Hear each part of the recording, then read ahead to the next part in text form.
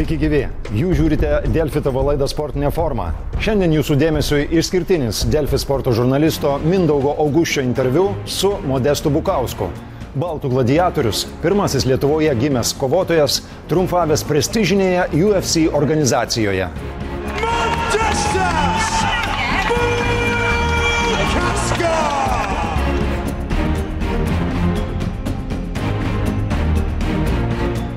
obviously I I was very looking forward to have my American debut. And then um, that got cancelled obviously due to this whole pandemic situation. And then uh, and then yeah but luckily I got a quick turnaround. I got a very good management team. You know they, they got me a fight pretty much uh, like I said you know a couple months later which was amazing on like Fight Island which is the most historic event you know in the UFC um, uh, especially during like such a crazy you know stressful time for everyone in the world uh, but they, they they literally took such good care of us. I mean, we had to take about five different uh, uh, COVID tests. We had to be quarantined in our rooms uh, before, like in London, for for two days before we flew, flew out to Abu Dhabi, and then once we got tested again, so we got tested already three times, and then we had to uh, get quarantined in Abu Dhabi for another two additional two days, and then we are allowed to go uh, and do what we wanted. So it's very strict, very uh, you know, like very well organized. You know, the UFC, they made sure that they left no stone unturned. They made sure that they've done everything properly. And uh, yeah, like I said, they took care of us really well. So uh, yeah, I'm very glad that um, with all the testing still, and you know, you know, being cooped up in your room for two days in London, that was a bit you know, I was there on my own, and but when I was in Abu Dhabi, I was in a room with my dad, who's also my head coach. So it was it was amazing. You know, for the two days that I was in quarantine, I was still able to train properly and, and stuff like that, even though we were just in the hotel room. But like I say, the whole experience was uh, was amazing, and I couldn't have had it any other way.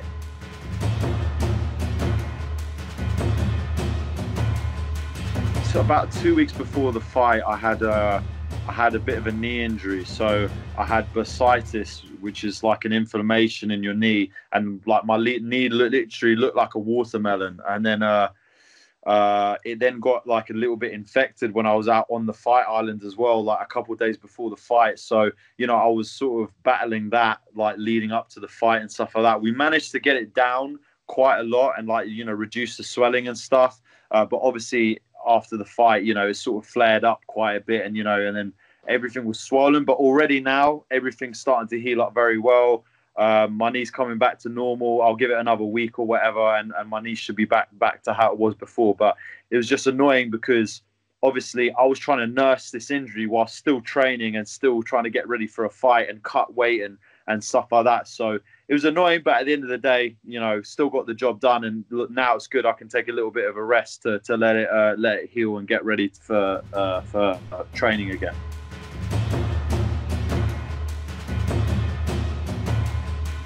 We found out quite close to the fight, but um, at the end of the day, I knew even when I heard that you know my opponent pulled out, I, I had no worries because if it, if I would have been still fighting for Cage Warriors, I probably would have been worried, thinking, okay, this fight may not have happened. But I knew with the UFC, there's so many guys who are staying ready, staying sharp, and training that there was going to be someone that was going to step up to the plate and and, and come and fight. So you know, there, there was no there was no real worry for me. I knew that they were going to find me an opponent, and you know, they ended up finding me an even tougher opponent. But at the same time, I, I love that. I love having challenges. I love embracing like pressure situations or or or things where not supposed to go because it makes me it makes me feel like I'm building on my character and building on on my on my athletic ability. So the fact that I, I got the new opponent and everything, it was actually a bit of a blessing in disguise because you know I think it definitely raised my stock even higher.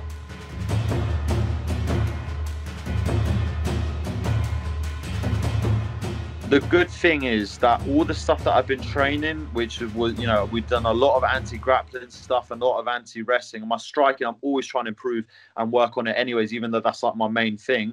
Um, the good thing is, all that anti wrestling and all that anti grappling just played into the new opponent exactly how how I wanted it to, uh, because at the end of the day, I I knew that if he would strike with me, I'm absolutely fine to do that. And all I need to do is just to negate or stop all the grappling stuff that he had on his side because he's a bit more of an all-rounded opponent. But you know, like I say, luckily in the fight, you know, it ended up being more of a striking exchange, anyways, which is what more what I wanted, anyways.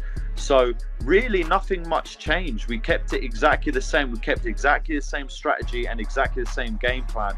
And I think doesn't matter who the opponent would have been. I think we would have realistically kept the same game plan because we know that our strength is the striking, which is where we want to keep it. So, had the guy wanted to grapple with us or anything like that, we would have been absolutely ready for that. So, mm-hmm. yeah, I was, um, doesn't matter who the opponent is. Uh, you know, you've always got to, to um, you've always got to um, adapt and overcome. So, like I say, I'm I'm really uh, I'm, I'm really happy that uh, everything played out the way it did.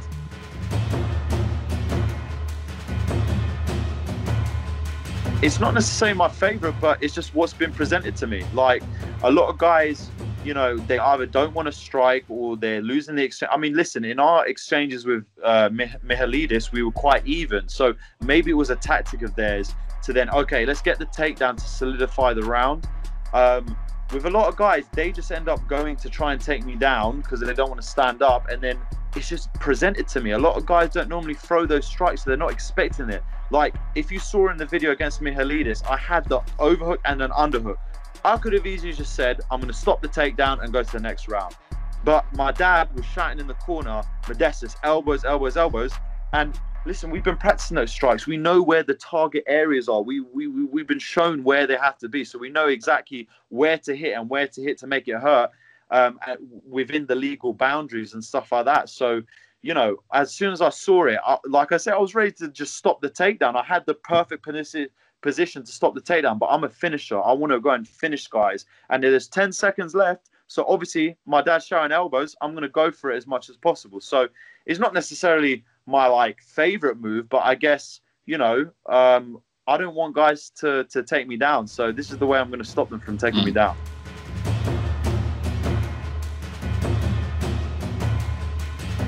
People don't know about my wrestling yet. They don't know about my jiu-jitsu yet. Like I think there's a lot of talk about me, yeah, you know, being a good striker, but I've just not decided to go for my takedowns myself. I've, in a fight, you're always going to do the things that you're 100% the best at and the most confident at. And for me, it's the striking and the takedown defense. A lot of people may say, oh, yeah, well, he got taken down a lot in his last couple of fights and this and that. But okay, what did they achieve? Absolutely nothing.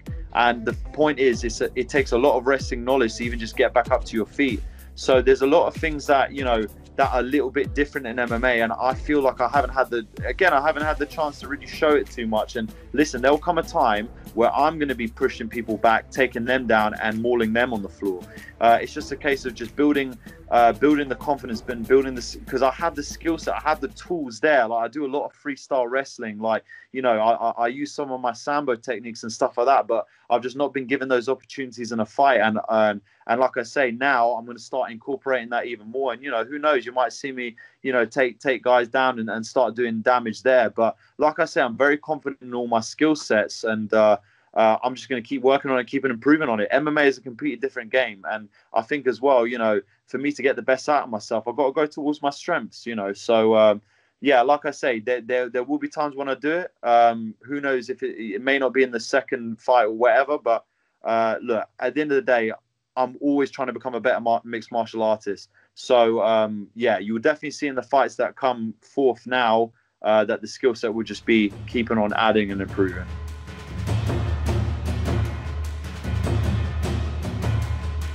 At the minute, uh, my manager obviously just wants me to sort of recover and heal. So another week of sort of recovery, and I'll be back into training, which means I'm going to be back, you know, like normal and stuff like that. Um, I reckon there's, I think there's another fight island coming up either in September or October. We're, we're not 100% sure when, but I'm going to try and get on one of those cards. I mean, listen, I've just, I've just come out with a, you know, a performance bonus winning uh, performance. So obviously, I'm be I'll be looking to get straight back in there because, like I say, I'm in shape. I'm feeling good. You know, I'm going to be back in training straight away from next week. So, um, yeah, man. Um, and who they're going to give me, I'm, I'm, I'm not, I'm not so sure. But look, at the end of the day, whoever they put in front of me, I'm always going to find the solutions of how to beat them, and and my skill set is going to show out even more every single fight. And you know, even going into a fight 100% healthy is going to make me even more dangerous for my opponents. So, uh, yeah, there's no real step yet, but we're looking at you know September, October, whenever they have the next fight island events there.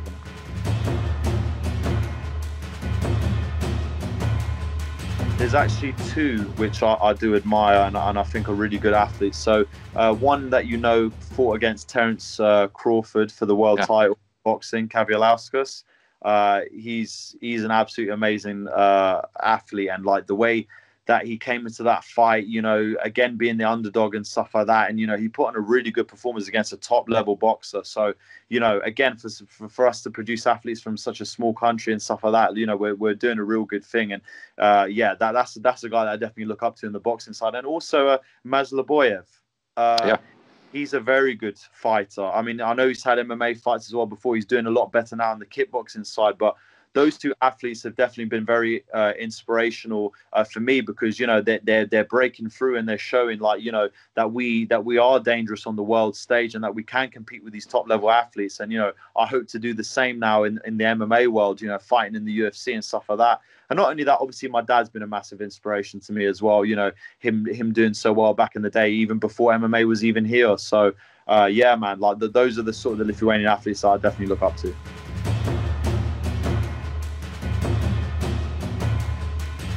My mum was born in Vilnius and my dad was born in Kaunas. Uh, my dad was actually one of the top 10 swimmers uh, in the country at one point, and uh, he actually wanted to go to the Olympics, at, um, or he wanted to try and get to that point. Um, but unfortunately, I think that due to some sort of complication, he wasn't able to fill out that dream. And then he actually got enlisted by the Soviet army for two years. And then uh, during that time, I think that's when he sort of found his love for, for, for martial arts and combat sports and found that he's quite good at it. Um, he also got his black belt in karate, and then he sort of incorporated the sambo and stuff like that. And then he started competing himself and became one of the top ten fighters in in, in Lithuania and stuff like that. Um, my mum, um, she she was a bit more of an artistic sort of woman. She you know she played piano and stuff like that, and you know she she wanted to do something like sort of artistic. So she she done hairdressing, and then she started working her way up the ladder there and then you know my dad was very successful. You know we had a we had a nice family and stuff like that. I was born in Klaipeda, uh, and then you know at three years old we sort of we sort of looking for different opportunities. And um, you know my parents decided the best move would be to try and come to london. Um, and you know really and it, it, has been you know it's been a good thing because you know it, it meant that uh, I would, you know, I've become very well spoken in English and stuff like that, which is obviously very important in the world and uh, you know it's, it's helped my parents out a lot. And it's given me a lot of opportunities. It's helped me to go out to america for school. It's helped me to to you know like like do certain things. So i'm, I'm very thankful for that. At the same time though i mean listen everyone hears me speak and you know they hear they hear the british accent and this and that and and, and yeah, you know, is, is, that london accent? It's not eastern yeah, european yeah, sure. Yeah 100% yeah yeah. So everyone everyone's kind of confused like you know he's got a Lithuanian name, but you know he's he's got a, uh, an English accent. But obviously, I really like value my heritage from Lithuania. That's why I always bring the flag out with me. Um, it really means a lot to me. I mean, even the t- tattoo that I have on my left arm has got all words in Lithuanian. Um, so, uh, pasiaukojimas. Oh um, yeah, so, Sacrif- uh, sacrifice. Yeah, yeah. tikėjimas, uh, meilė, I think Milo and uh, Shema. So oh. stuff that means stuff that means a lot to me. Uh, stuff that I like, you know, I sort of value quite highly. Um, but yeah, man, like I said, I've been I've been trying to work on my Lithuanian a little bit uh, and and stuff like that at home. Um, you know, in between like the training, and you know, during quarantine. So I'm starting to understand it now a lot better. I can read it now. I can, you know, with the accents and stuff like that. It's just a case of I just got to just get down and study it. Do you know what I mean? Like it's I've sort of been like you, are focusing on training, focusing on this, doing that, and you know I've, I've I've not been able to do it. But my dad's been helping me out a lot, and you know answering people. So now I'm trying to get back into it in terms of just like you know learning how to speak it properly. So hopefully one of the next interviews we'll be able to have a bit more of a Lithuanian conversation as opposed to an English yeah. one. I, I, I honestly like I represent Lithuania to the to the fullest. Like I, I was born there, like you know, I, I lived there for three years as well, and I've still I've still been back there to visit family and stuff. So you know, it is a, it is a very big part of me. And uh, um, like I say, that to, to be the first Lithuanian uh, male to sign with the UFC, it was a big deal for me, and also to win. So now I'm I'm, I'm hoping I can pave the way for more Lithuanians to get to the UFC and and uh, and do their thing. So uh, yeah, and, and like I say, I'll, I'll, give massive credit to mom and dad for bringing me up the way I did uh, and giving me all the opportunities that I needed to to go out and achieve things. So uh, mm-hmm. yeah, it's been a crazy journey.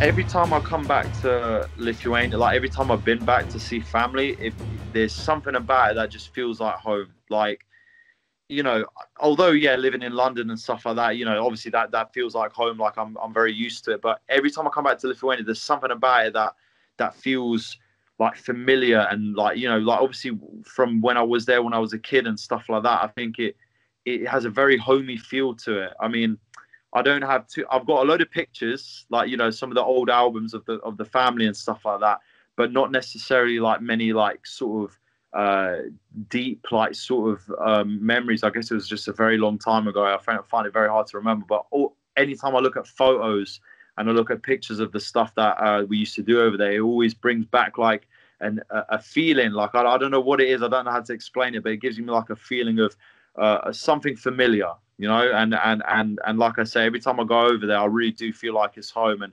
and uh, i'm definitely now you know in between fights i'm definitely going to try and visit a lot more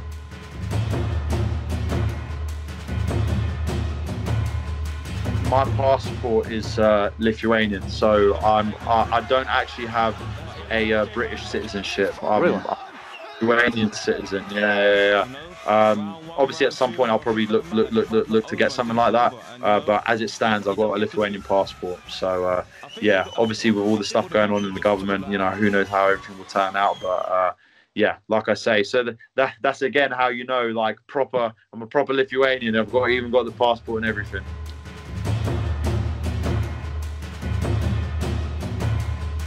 You know, I took a little bit of a break from martial arts, just you know, my parents want me to try and pursue other sports, so I tried playing other things, and then I played basketball, and I seem to have a little bit of a talent for it. You know, I had I had like a knack for it. I, I like it's something that I picked up quite quickly. I, I improved quite quickly, and then uh, it came to the uh, to the point where um, I was playing for quite a good team in London, um, and you know, after that, um, we sent some tapes over to to a school in in America where one of my coaches he went there when he was younger, and then um, in Louisiana, and then after that they pretty much said, yeah, this guy is good, you know, let, us bring him over. And then you know I went to school there for two years. The first year I couldn't play, but then the second year I was eligible to play. And um, yeah, man, like I, you know, I've, I've got loads of pictures from when I played back in the day and stuff like that uh, out in America. And, you know, I was just trying to, like every basketball player's dream is to go out and, you know, be able to play as a professional, play in Europe, play in America,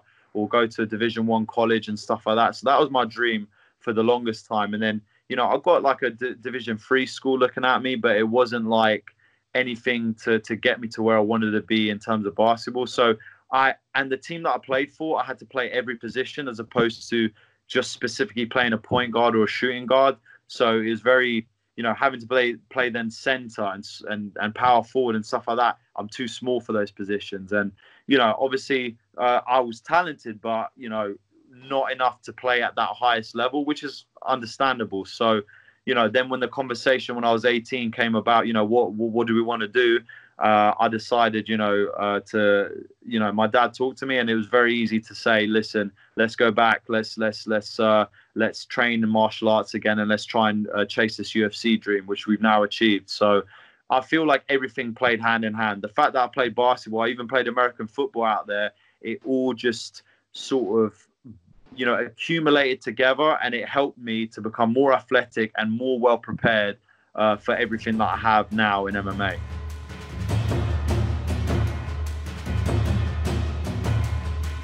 So I trained for about three years, four years, uh, and I so I turned pro after about after three years. So I had an amateur record of seven and one. Then I turned pro when I was 21, and then when when like after my first pro fight that I won, uh, which was also against another Lithuanian, funny enough. Um, I then went to Albuquerque, and Jon Jon was wasn't there at that time. I actually trained mainly with Arlovsky, and then um, the second time I went was when I was 22, and then that was when I met Jon Jones, and that was after I was four and zero as a pro, and um, then yeah, uh, it was absolutely amazing experience. Like I say, to be able to train with the greatest of all time, and you know, sparring with him every single day, talking to him, and you know, uh, having him sort of praise me and stuff like that. And it, it, was it was it was nice. It showed me that someday I'll be able to compete with the highest level. You know, he's an amazing athlete, and you can see why he smashes everyone because he's extremely. but um, it was amazing for me, you know, just being able to have those rounds, to have that experience.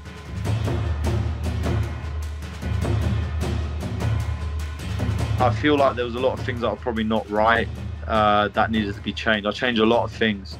You know, I changed.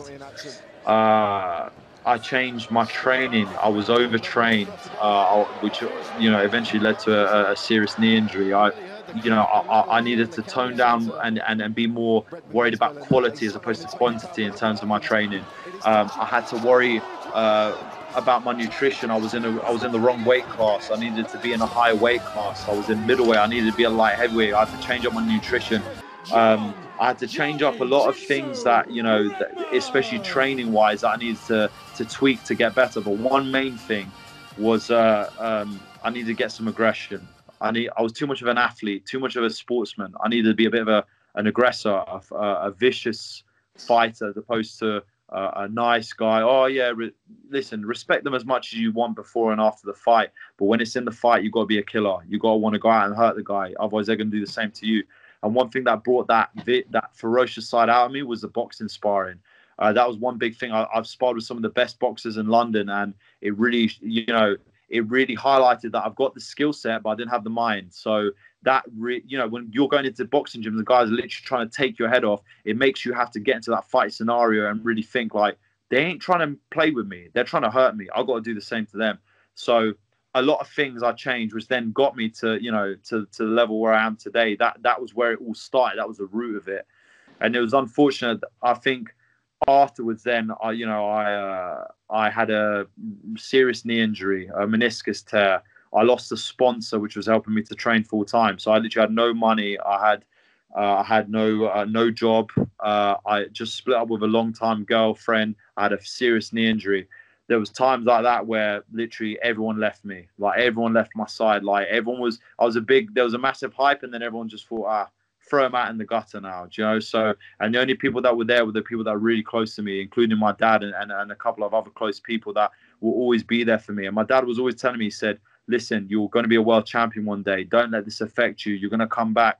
I mean, there'll be times where I was like crying in my room trying to figure out like what the hell am I going to do, but you know, and and and I got very depressed. But you know, slowly things just started brightening up. I got my operation on my leg. I managed to find a job. I did a course and stuff like that. So things slowly, I made little victories, little victories that then eventually led to me going on a massive win streak. And like I say, it, it, I'm very thankful for those experiences because it just makes me tougher in the mind. I feel like nothing can break me now. I've had so much adversity that now I feel like any other adversity is a walk in the park or it's something that I know I'll be able to handle. So I needed those experiences to make me who I am today. Because uh, now I'm on a seven fight win streak, and believe me, it ain't going to end here. I'm going to keep winning. I'm going to keep rising up towards the top uh, with all the experiences that I had uh, I don't want to go back to those dark times. So I'm going to do everything in my power to make sure I don't.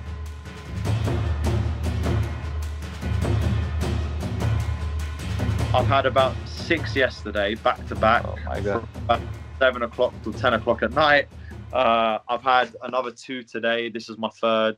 I've got another three tomorrow, and it, it just keep going. I mean, listen. At the end of the day, uh, you know I've got to, this is also part of the job. You know I've got to give back and, and tell people uh, uh, uh, you know about all these things and about the story and stuff like that. And I'm, you know at the end of the day, uh, it, it's, it's it's it's it's part of it. And I, and you know I like doing. It. I like talking to different people and and stuff like that. So yeah, it's a lot of interviews, a lot of work, but again, uh, I, I, enjoy doing it because you know th- this is what I want to do. Like I want to be in the spotlight. I want to be that guy being talked about. I want to go and put on performances, and I understand that this is just part of the business, and and uh, yeah, it's, it's how I got roll. And in one of those recent interviews, you talked about drinking vodka with, with your dad. Uh, is uh, Conor McGregor type of uh, good public relations you are trying to create, like imagine?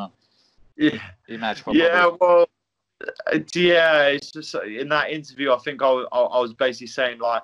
I, I, don't know if he asked like how I would celebrate or, or, or something like that, but yeah, no, of course. I mean, listen, uh, you know these these situ these uh, moments you know like there's only going to be like you know it's only going to be for like the next 10 years so we've got to make the most of every single moment so of course you know after a fight i'm going to have a you know a couple of shots here and there with my dad and, and, and stuff like that and with my close people i think there's like a very old bottle of whiskey that he hasn't opened that he's just waiting just to to to, to pop and uh, you know like, like, like I say just for this particular victory and, and as well for winning 50 Gs. We, we've yet to do that but we're going to do that probably within the next couple of days. And then when I get back into training then obviously everything gets ramped back up to normal. But yeah now of course man. I mean listen I'm I'm a guy. I'm an uh, like I'm a normal guy. Like I'm a fighter but you know there, there's another side to me.